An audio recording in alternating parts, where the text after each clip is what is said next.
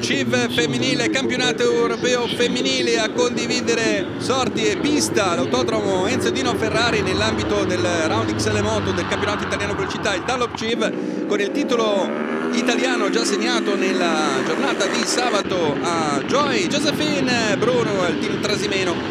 Però c'è ancora da segnare quello europeo anche se la grande favorita è Natalia Rivera la pilota spagnola. e chiedo scusa, Gradara Corse per Joy Bruno e Team Trasimeno per Natalia Rivera. Le due vanno subito in fuga all'attacco facendo una grandissima differenza su di giri veloci anche sul passo dell'ottimo 2 e 11.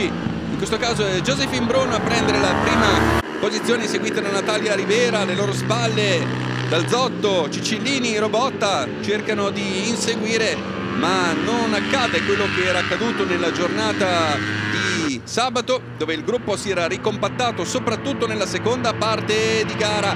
Tanti sorpassi sia Rivera che Bruno cercano di rimanere davanti. Alla fine però ci si gioca tutto all'ultimo giro. Le avversarie sono abbastanza lontane quindi si può andare di strategia e nel finale si arriva alla rivazza. E nella discesa dalle acque minerali attenzione all'attacco in rivazza 1 di Josephine Bruno che prende la prima posizione. Bravissima fa tanta velocità riesce poi a difendersi anche in variante basse. Va a vincere vince la campionessa italiana la neocampionessa italiana vince questo appuntamento sia per l'europeo che per il CIP femminile. Natalia Rivera è seconda e conquista comunque il titolo europeo WEC Moto 2024 finale della stagione. L'autodromo Enzo Dino Ferrari di Imola il round XL Moto nel Tarlock Civ il campionato italiano velocità nella giornata di sabato. Cristian Borelli e Bucci Moto Factory hanno conquistato con una gara di anticipo il titolo tricolore. Si riparte comunque con un Borelli ancora molto deciso con lui Edoardo Savino e Martino Alberto Galliuto ci sarebbe anche Barbagallo nella bagarre per il secondo posto della classifica generale ma problema tecnico per lui qui arriva lungo arriva lungo Gagliuto rischia tantissimo ma riesce a rientrare nella partita si inserisce anche Matteo Gabarrini team Ecovit Pasini Racing poi l'attacco deciso ancora una volta del campione Cristian Borrelli su Edoardo Savino con Gabarrini che cerca di recuperare terreno e Gagliuto però che ha un ottimo passo gara riguadagna la terza posizione attenzione siamo alla Tosa un pelino lungo Savino il contatto con la posteriore di Borrelli finisce nella via di fuga niente da fare KO così incredibilmente il pilota del Leopard Academy by Rock NDA e quindi Barbagallo riconquista comunque il secondo posto in campionato. Vanno nel finale di gara Borrelli e Gagliuto a giocarsi la vittoria perché Gabarrini è saldamente terzo ma lontano dalle prime due posizioni. Galiotto prova ad andare all'attacco e a guadagnare un po' di terreno nel finale. Fa quasi tutto il giro davanti ma arriva l'attacco di Cristian Borrelli in rivazza 1 perfetta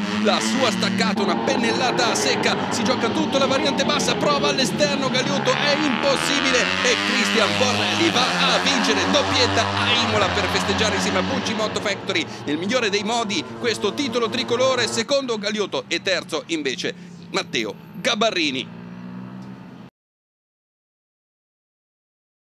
Superbike che chiude la sua stagione atto finale del Round XL Moto al Dallop Chief campionato italiano velocità qui a Imola con eh, titolo già assegnato a Michele Pirro con del bianco vincitore con eh, nella gara del sabato con Lorenzo Zanetti che ritorna con la tabella numero 1 che il sabato non ha vinto soltanto per i 6 secondi di penalità. È una gara subito pazzesca con Michele Piro la nuova colorazione blu dedicata alla polizia di Stato lui che pilota nel gruppo Fiamme Oro. All'attacco su Alessandro Di Albianco Yamaha DMR Racing. Ma c'è anche Zanetti in recupero con la Ducati del Broncos Racing. L'attacco di Del Bianco bellissimo la risposta di Michele Piro resistere il Bianco ancora in prima posizione poi Piro si porta all'interno le acque minerali dentro al comando del Bianco che quasi in invitato a controbattere immediatamente la mossa dell'avversario ma non ce la fa. Si avvicina a Zanetti raggiunge i due rivali va all'attacco all'interno di Del Bianco. Perfetto la variante del tamburello va a prendersi la seconda posizione e si prepara ad attaccare anche Michele Piro il pilota del Ducati Barney Spark Racing Team per la prima all'interno Lorenzo Zanetti. Perfetto un'altra volta. E poi Del Bianco su Michele Pirro pericolosissima la staccata alla rivazza 1 rischia anche Michele Pirro in fase di accelerazione accelerazione quasi un high side si salva e conserva la terza posizione. Errore per Zanetti alla Tosa viene passato prima da Del Bianco e poi anche da Michele Pirro. È una gara senza respiro Del Bianco e Pirro Pirro forse arriva un po' lungo il contatto con la posteriore Del Bianco esce nella via di fuga miracolosamente con grande bravura riesce a rimanere in piedi Lorenzo Zanetti. A questo punto strada spianata verso la vittoria vince Lorenzo Zanetti le sue spalle succede di tutto ma alla fine è Del Bianco a prendersi la seconda posizione davanti a Cavalieri e al compagno di squadra Bernardi. Poi Saltarelli e Pirro. 600 Next Generation che arriva all'atto finale di questa, di questa stagione con la sfida ancora aperta 17 punti di vantaggio per Davide Stirpe e lo Ducati Garage 51 by Varni contro Luca Ottaviani Forme di questa gara con la MV dell'Extreme Racing Service. Va subito davanti Davide Stirpe per tenersi fuori dai guai. Attenzione qui abbiamo una caduta di Andrea Giombini con la Ducati del Broncos Racing Team. Per fortuna senza gravi conseguenze rischia qualche cosa. Taccini rimane davanti al gruppo Davide Stirpe ma poi la situazione si ribalta perché Luca Ottaviani passa al comando passa al comando, passa anche Valtolini, fase complicata per Davide Stirpe che si ritrova addirittura quinto nel gruppo Mantovani ma incredibilmente anche Mattia Rato con la Ducati 2R Racing pilota che è impegnato in questo weekend sia nella Super Sport 300 che nella 600 Next Generation. Mattia era interamente indiavolato incontenibile va anche l'attacco su Mantovani va a prendere la seconda posizione. Ottaviani deve rimanere davanti mentre, mentre Davide Stirpe deve concludere almeno nelle prime sette posizioni. È davvero al limite. Qui rischia, rischia, rischia l'high side addirittura in uscita dalla variante alta, la variante Cresini, poi si riprende con un giro veloce, va all'attacco ancora Luca Ottaviani, prende un poelino di margine e ancora davanti e vince la gara davanti Rato, fantastico risultato con Mantovani e Valtolini, ma Davide Stirpe ce la fa, ce la fa, sesta posizione ed è il nuovo campione italiano 600 Next Generation con la sua Ducati Garage 51 by Barney, Davide Stirpe. Moto 3, ultimo atto della stagione, ampiamente confermato il titolo per lo spagnolo Marco Soluda e GP Project Racing Team per la loro Two Wheels Polito sono davanti a tutti sin dalle prime battute ma attenzione c'è subito un rischio terrificante con Eric Michelon che rientra dalla via di fuga per fortuna senza nessun problema. Poi Jacopo Villani fuori dalle acque minerali tutti bravissimi ad evitarlo. Era nelle primissime posizioni. Inizio veramente a tutta adrenalina per questa gara. Marco Struda allunga suon di giri record veloci niente da fare. Christian Lolli è in seconda posizione ma più lontano. Poi c'è un ottimo Dalio ma risale fortissimo. Christian Daniel Junior Racing Team Lucky Racing Team pilota americano in una prestazione ultra convincente dopo la quarta posizione ottenuta nella gara del sabato. Anche Casalboni forte del secondo posto del giorno prima disputa una gara tutta all'attacco.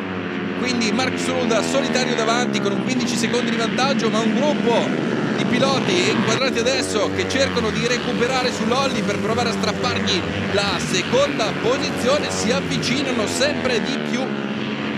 Ma Lolli riesce comunque a difendere la posizione per sé per il Cecchini Racing Team. Arriva un altro successo per Marcos Ruda. GP Project Racing Team Jules Polito va a cogliere un'altra grande vittoria. Seconda posizione per Christian Lolli Cecchini Racing. Team Dario cade proprio nel finale purtroppo. E terzo invece è arrivato appunto Christian Daniel Junior Lucky Racing Team. Si chiude il Dallop Civ XL Moto del campionato italiano velocità all'autodromo Enzedino Ferrari di Imola con la Super Sport 300 che deve ancora segnare il titolo, si arriva fino all'ultimo. C'è ancora un vantaggio per Alfonso Coppola in classifica, 16 punti su Emanuele Cazzaniga, ma Alfonso Coppola è infortunato, una brutta caduta nelle prove e quindi seriamente in difficoltà dal punto di vista fisico. Emanuele Cazzaniga subito arrembante invece nella prima fase però dai primi crono Coppola dimostra di non poter stare con i primi due. C'è infatti Mattia Rato in fuga con Emanuele Cazzaniga ma di poter lottare per il podio di conseguenza anche per il titolo tricolore. Grande weekend anche per Mattia Rato con la sua Kawasaki del 2R Racing. Ha corso anche nella 600 appena conquistato il podio ed è già in sella alla 300 a contendere la vittoria. All'amico e rivale Emanuele Cazzanica con la Yamaha del Race Star. Grande bagarre alle loro spalle. Bollani appunto Coppola c'è Iannazzo c'è anche Plazzi una super sfida. Giacomo Zannoni con eh, uno scatenato Alfonso Coppola che stringe i denti sopra il dolore con la Yamaha con la Kawasaki del box che Pedercini corse qui un lungo pericoloso ma riesce ad evitare un pericoloso contatto. Coppola si arriva nel finale con eh, una grandissima vittoria per Emanuele Cazzaniga Yamaha Race Star seconda posizione per Mattia Rato fantastico. Kawasaki 2R Racing ma il quinto posto finale di Alfonso Coppola mentre Bollani completa il podio il quinto posto di Alfonso Coppola regala a questo piloti al box Pedercini Corse il titolo italiano Super Sport 300 2024 ultima gara per questa categoria che chiude una storia durata anni veramente molto molto intensa intensi e spettacolari sarà poi Sport Bike.